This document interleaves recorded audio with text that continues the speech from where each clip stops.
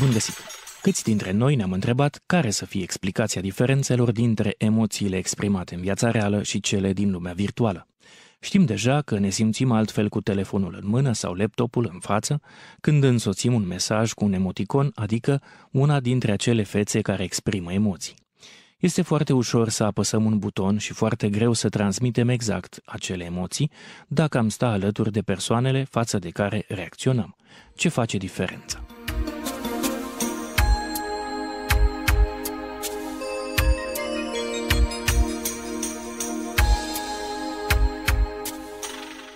Exprimarea emoțiilor în lumea reală trece prin numeroase filtre. Ele ne sunt implantate în personalitate prin cuvinte și exemplu propriu de persoanele semnificative din viața noastră. Dacă părinții te constrâng să nu-ți exprimi nemulțumirea pentru că este urât să fii supărat pe altcineva, s-ar putea să nu ai de ales și să te conformezi dar vei aduna în interiorul tău o anumită energie negativă, captivă și fără posibilitatea de a se descărca atunci când e cazul, îi așteaptă latent momentul sau obiectul pe care să-l folosească drept paratresnet. Sau ai vrea să îmbrățișezi pe cineva pentru că ți-a făcut o bucurie sau pentru că ai dori să-l încurajezi.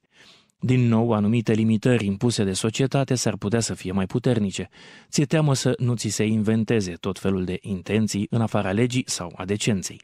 Cu toate că îmbrățișările au rolul de a încărca emoțional atât pe cel care oferă, cât și pe cel care primește.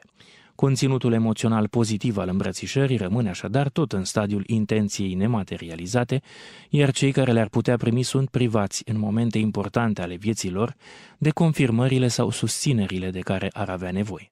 Pentru astfel de situații, lumea virtuală este un spațiu foarte larg de acțiune. Cei mai mulți oameni ajung să își exprime emoțiile liber și unii chiar fără discernământ. Poate fi observată la toți cu ușurință diferența mare de intensitate între real și virtual.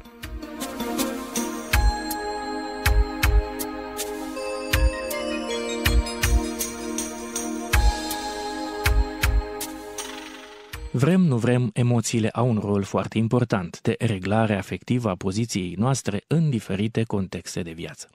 Ele fac diferența dintre rudele, prietenii, cunoscuții și anonimii din viața noastră, ele ne ajută să supraviețuim în situații de pericol, tot ele fac diferența între preferințe sau ne ajută să depășim momente dificile.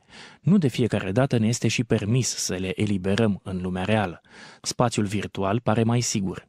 Nu ne adresăm cuiva în mod direct, față în față. Avem un intermediar, ecranul, ceea ce pare că ne absolvă atât de responsabilitatea mesajelor emoționale transmise, cât și de legătura față de toate regulile de exprimare emoționale învățate de la alții. Din păcate, ni se pare că suntem mai autentici în fața unui ecran decât dacă am fi chiar în prezența fizică a persoanei căreia ne adresăm prin intermediul ecranului.